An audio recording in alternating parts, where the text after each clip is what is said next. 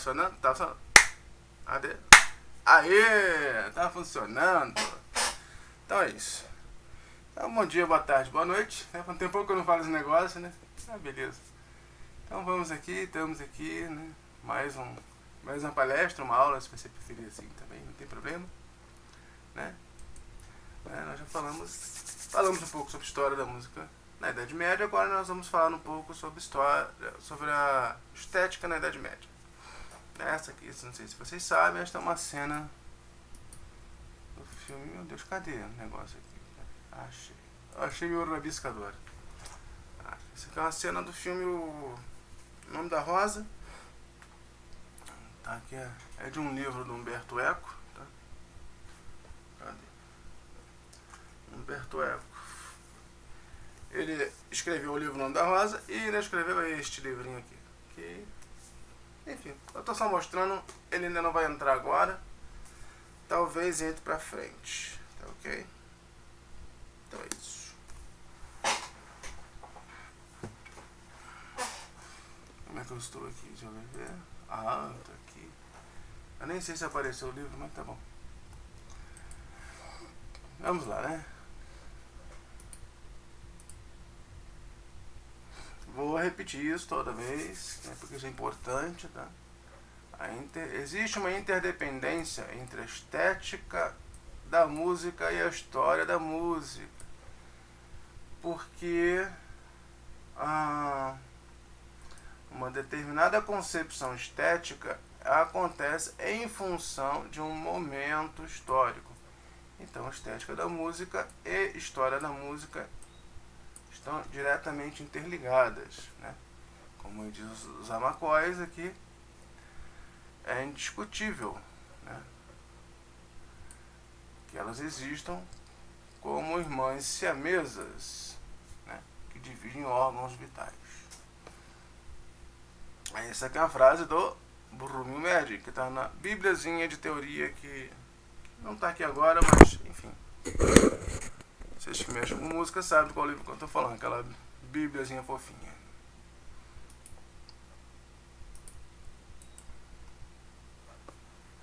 Estética da música medieval. Isso aqui é muito interessante. Eu gosto muito de música medieval. Né? Percebam que isso aqui é a fachada de uma, de uma igreja, tá? Isso. Né? Essas rosáceas, né? Essas formas circulares com vitrais. Não sei se vocês já perceberam, mas isso é comum você encontrar, por exemplo, na boca dos alaúdes. Se não é algo igual a algo similar. Essa é a mesma rosácea, é o mesmo vitral olhado de dentro, né? Lá era a visão de fora, essa é a visão de dentro da igreja porque a luz bate naqueles, naqueles vitrais e é essa a imagem que você tem. Os vitrais ainda são usados até hoje, né? Dentro da igreja católica. É só você entrar em uma igreja um dia ensolarado que você vai, vai ver uma.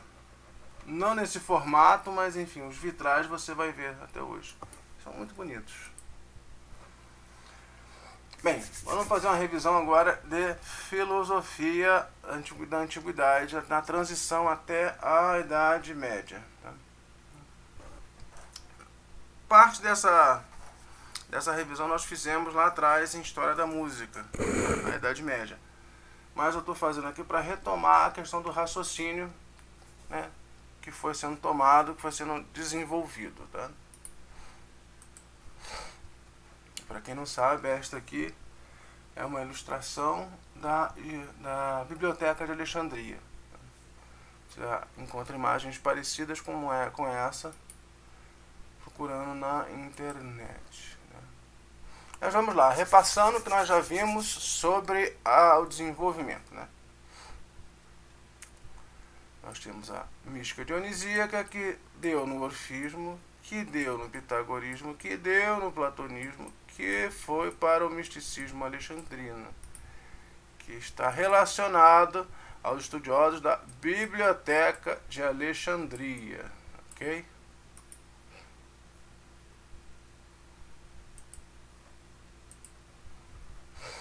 esse momento aqui é o meio termo, é, o, é a transição entre a Antiguidade e a Idade Média. Tá?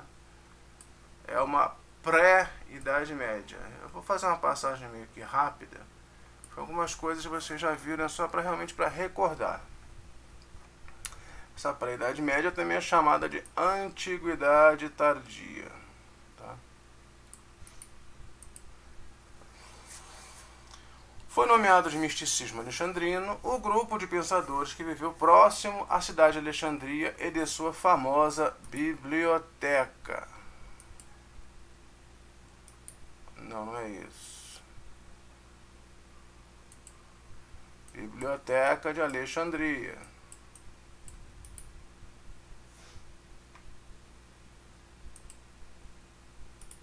Próximo, desculpe. Ah, a biblioteca de Alexandria, lá. Aí isso aconteceu, né, esse misticismo alexandrino aconteceu entre o século 3 e 4, 3 a.C. e 4 depois de Cristo. E o que, eles fizeram? Uma síntese entre a filosofia grega, o cristianismo e o seu contato com o helenismo. Estamos só recordando. Né? Qual é a questão da beleza na antiguidade, a Idade Média? Essa transição, né? Acaba sendo a transição, porque Santo Agostinho é considerado filosofia medieval, mas ele morre na antiguidade. Ele morre antes do início da Idade Média. Tá?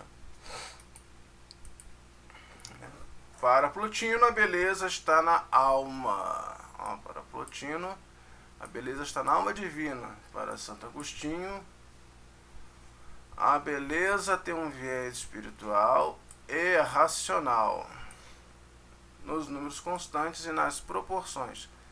Percebam que isso, isso de certa forma faz lembrar Pitágoras e Platão. Né? Tomás de Aquino, São Tomás de Aquino, para ele o belo e o bom são, as mes é são a mesma coisa. E a beleza é uma imitação do divino. Uh, o cristianismo, enquanto fé em que Deus se encarnara em um homem determinado, significa uma redenção de todo o visível, o concreto e o individual. Mas em seguida, para questões intelectuais, quer dizer, o cristianismo ele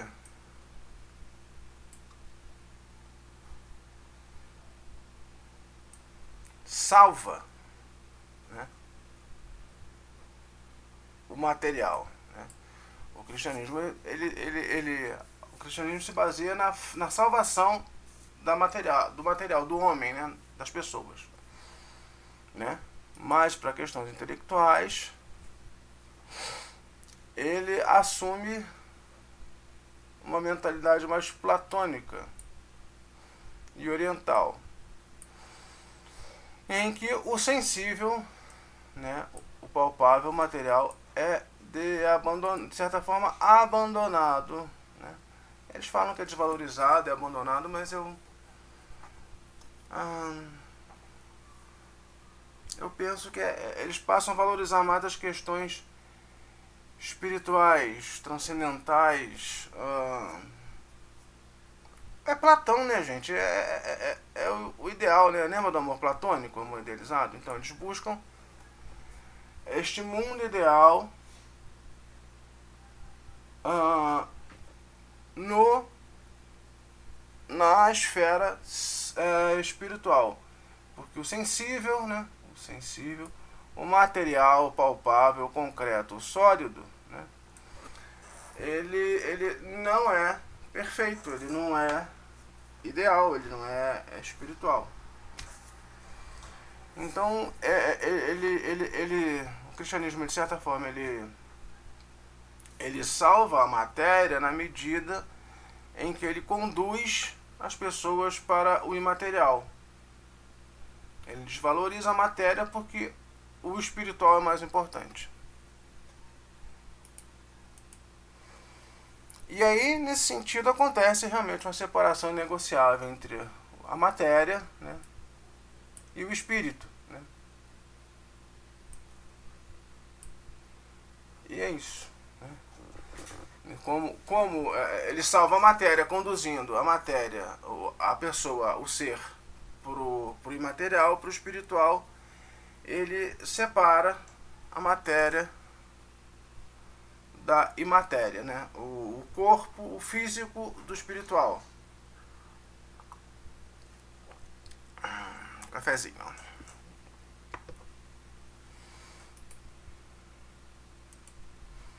Ah, aqui nós vamos falar de Plotino. Né? Nós já falamos de Plotino, mas vamos falar de novo, porque Plotino é legal. Plotino é interessante para você. O Plotino ele, ele, é o elo, né? Ele é, meio é o é o que liga a antiguidade com a Idade Média. Ele é o meio do caminho entre a Grécia e o cristianismo ocidental. Ele está dentro do período chamado estoicismo, helenismo e o misticismo alexandrino. E ele foi um dos que propôs a síntese da filosofia grega com o cristianismo. Né? Hum, a questão da mortificação da carne, que é comum no cristianismo, ela de certa forma, ela também está dentro do estoicismo, ok? Que é uma escola filosófica grega.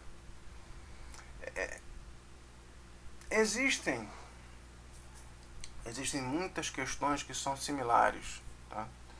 Por isso que essa junção é, no final da antiguidade e durante toda a Idade Média foi possível. Se uh, você tem realmente interesse em entender o cristianismo, você tem que estudar os filósofos da antiguidade e da Idade Média. Tá? Isso, inclusive, é uma sugestão que eu deixo até para quem quer fazer teologia. Ou quem quer entender um pouquinho do cristianismo. Né? Porque partir só de texto de militante ateu realmente fica difícil, porque eles já estão predispostos a dizer que tudo é uma porcaria. Né? Ou já olham a coisa de forma a condenar, né? Na verdade, já bateram o martelo e ponto final, então, enfim. É, é um pouco complicado. O Plotino, como eu falei, é o elo, é o elo entre o cristianismo e o, pensadores antigos. Plotino foi herdeiro da filosofia de Platão, ok?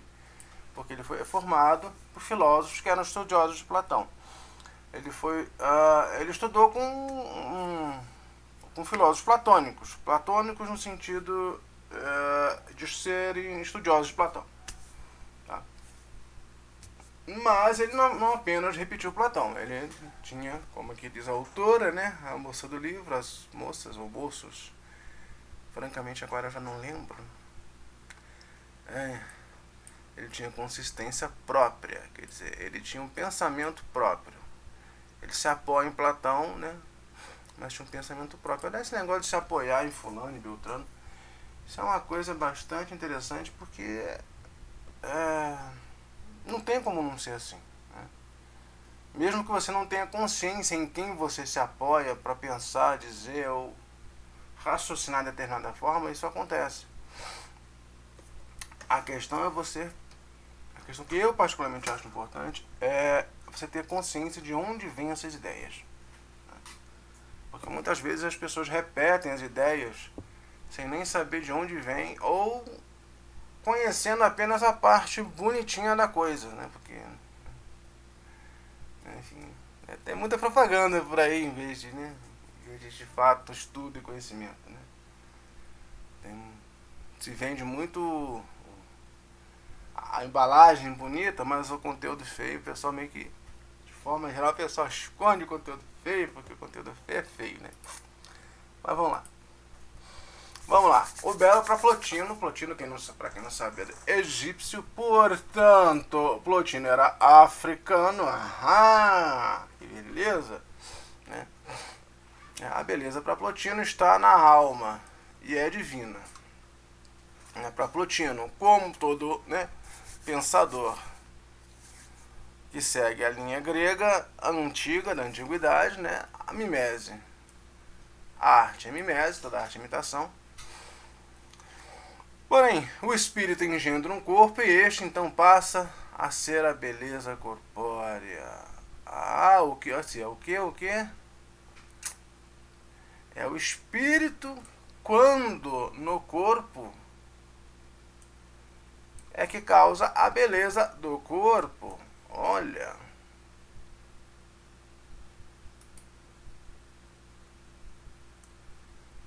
Né, a beleza para ele também é sensível. Né? Você sente. Engendra um corpo esse, então passa a ser a sua beleza corpórea. Então, se ela é a beleza, se a beleza do espírito ela é corpórea, ela é sensível porque você pode sentir. Então é pelo corpo, ok? É pelo corpo, para Plotino, para Plotino. A beleza do espírito se manifesta no corpo e pelo corpo você torna sensível o espírito, ou seja, o espírito no corpo o espírito manifesta sua beleza no corpo e esta beleza manifestada no corpo ah, torna o, sensível o espírito. Então é pela beleza do espírito manifestado no corpo você pode perceber a beleza do espírito, né? Aí entra não, né, no tostino vem demais porque é fresquinho, é fresquinho porque vem demais, né? Quem botou o primeiro ovo foi. Quem veio primeiro ovo a galinha, né? ele fala também sobre o retorno, né? voltar-se a alma para si mesma a fim de reencontrar sua origem. Isto aqui, se não me falha, voltar-se a alma para sua origem. Isto aqui, se não me falha a memória, se não me falha a memória bem, eles, eles foi aluno de professores que ensinavam Platão e, pelo que vocês lembram, até da crítica de Aristóteles, Aristóteles Platão, em determinado momento, estava mais, estava mais pitagórico do que aristotélico. Socrático. Do que socrático, desculpe. Aristóteles, em dado momento, ele, ele denuncia, ele, lá, né, das as brigas dele lá com Platão, em que ele fala que Platão está mais voltado para Pitágoras do que para Sócrates. Né? E é isso que fez, inclusive, Aristóteles sair da, da escola de Platão, né? que acabou, acabou, acabou resultando em que Aristóteles formou a sua própria escola de filosofia. Isso aqui me parece, Arist parece Pitágoras, que foi herdado de, para Platão, que chegou em Plotino. É a questão do, do retorno à origem primordial, ou seja, a alma vai voltar para Deus. Tá?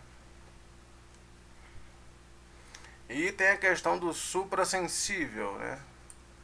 Que a alma contempla seus semelhantes sem a necessidade dos seus órgãos, ou seja, a alma, a alma pura, sem corpo, né? está acima do sensível.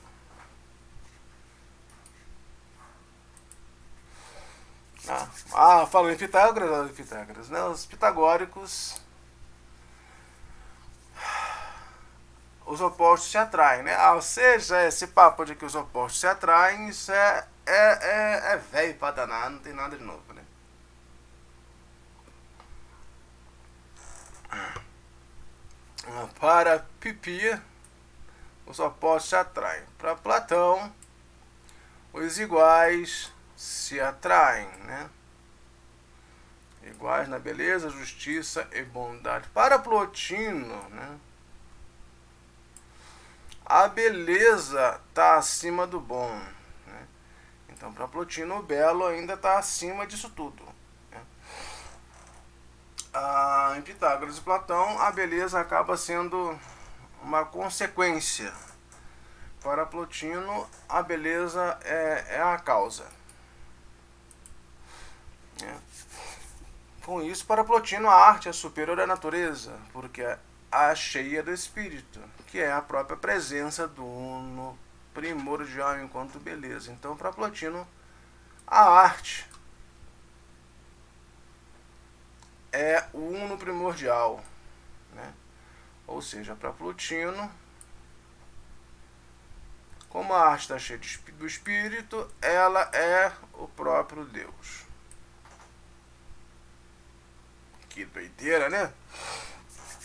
E é por causa disso que Plotino vai render aí por muitos séculos. O pessoal gostou da ideia, né? De que de que o artista, né, fala a arte. A arte sendo Deus, o artista torna-se um sacerdote, um profeta, né? Aí o pessoal da arte gostou, né? Decidiu, que beleza, agora eu falo por Deus. Né? É isso. É isso que eu explotino durar aí, render, ou como diz aqui a autora, a atravessar os próximos séculos. Né? Lembrando que Plotino ele está na, no final da antiguidade, né? indo para a Idade Média. Vamos lá, outros, outros 12 nomes importantes na Idade Média que procuraram fundamentar essa ideia de que o belo né, é Deus, de que, ô oh, mamãe, é o contrário, filho. Apertei o botão errado. De que a arte é o uno primordial, né? Porque cheia do espírito foram Santo Agostinho, que como eu já falei, estava ainda na antiguidade. Ele morre antes do fim da antiguidade antes da, te, da, da queda de Constantinopla, se eu não estou enganado, mas aí nós vamos ver isso para frente. E Santo Agostinho, que aí já é na Idade Média mesmo, tá? Santo Agostinho é um dos precursores da Idade Média, ele está na Antiguidade. Um gato me cheirando aqui, não. Ele está ali atrás, né? ele está na Antiguidade, mas é um dos que conduzem o caminho para o cristianismo, né? É, Santo Agostinho é um filósofo e teólogo bastante importante para a cristandade como um todo, pois tanto católicos quanto protestantes e outras denominações ocidentais do cristianismo estudam Santo Agostinho. E não tenho certeza, mas muito provavelmente também a igreja ortodoxa, ou seja, a igreja oriental.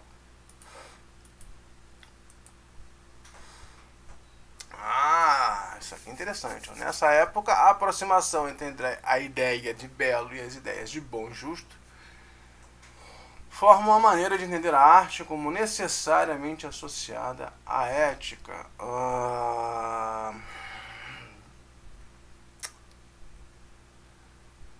Para você entender um pouquinho da ideia de belo, bom e justo na antiguidade e Idade Média, você tem que ir para a ética antiga e medieval, além da estética, ok? Você vai procurar a parte de estética e a parte de ética, porque na Antiguidade Idade Média está entrelaçado. Tanto que na. Meu Deus. E travou. Ah. Mamãe, é o livro de, Platão, mais famoso. República de Platão. Ele fala sobre a, as, os efeitos ah, éticos e morais da, da música na população e qual tipo de escala deve se manter, qual tipo de escala deve se tirar quais notas e qual sequência de notas eles devem usar ou não devem, e por que devem e por que não devem. É isso, isso vem para a Idade Média né, via Plotino. Né? Né, essa, essa reflexão de Platão vem para Plotino e Plotino vem para Santo Agostinho. Né? Ou, usando em termos ah, cristãos, né? Quais músicas induzem mais ao pecado e quais músicas induzem mais ao, ao, a um comportamento sacro, né? de buscar o sagrado, de, adalto, de buscar a vontade de Deus. Né? Basicamente isso. Em um dado momento a filosofia se mistura com teologia e. Bem, você não tem como separar, mas ao mesmo tempo você não pode, como é que eu vou dizer isso? Você não pode, em função da linguagem religiosa, descartar aquilo como filosofia. Ah, percepção minha, não está em livro nenhum, professor nenhum me falou esse negócio. Mas vícios, pecado e defeitos de caráter podem ser entendidos em certa medida como sinônimos. Portanto, você tem a filosofia antiga, a teologia, filosofia antiga, a teologia, a e talvez até a psicologia, mas eu não lembro o termo que se usa em psicologia ou psicanálise para isso. Algumas coisas, algumas questões relacionadas ao, ao comportamental, ao comportamento, enfim. Ou talvez até psicopatia. Agora realmente é, eu não sei, não, sei precisar isso. Mas enfim, em certa medida, tudo isso está interligado. Porque o vício, crime pode ser, o crime, por exemplo, crime. O crime pode ser um vício, pode ser um pecado, pode ser um defeito de caráter. Dependendo do crime, pode ser até um problema psicológico, né? como por exemplo a cleptomania. Então, você não pode simplesmente ah, largar de lado ou condenar, né? vamos condenar entre aspas, né? a teologia, a, a teologia, a filosofia medieval como mera, meramente religiosa, porque tem muita coisa ali que é muito importante. Né? Você tem que realmente, de certa forma, abstrair né? o, o, a língua, o linguajar né? religioso e entender o que tem de interessante ali, tem de bom. Até porque a psicologia só vai surgir no século XIX, para quem não sabe. Portanto, quem cuidava das questões relacionadas à saúde mental até o século XIX era a filosofia e a teologia. Então, querendo ou não, o negócio está lá. Com outras palavras, mas está lá. Ah! Introdução à Idade Média, isso aqui nós vamos deixar para outro momento porque eu já falei um bocado. Tá bom, tá bom. Meia hora, meia hora, tá bom, né? Tá bom, pô, tô tentando fazer uns videozinhos mais curtinhos, mais picadinhos, porque vai ficar mais fácil também, né, gente? Pessoal, vamos ser realistas, vídeo enorme.